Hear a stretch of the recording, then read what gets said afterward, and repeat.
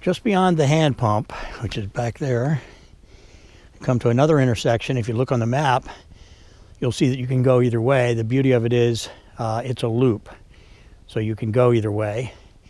Uh, today we're going to take the left-hand loop, head up this road, and this is an old field road or an old uh, access road where there were summer homes and bungalows that were built back here, and occasionally we can find some of the old foundations. And uh, we really wish we could get a little more information on what was back here before the lake was built. We find a little bit more as we dig deeper, but uh, there's I haven't really found a good single source to be able to find maps and pictures of the area before the lake was built.